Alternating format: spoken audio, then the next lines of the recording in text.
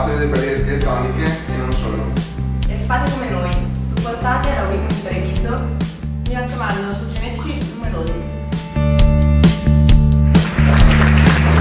Direttamente dagli Stati Uniti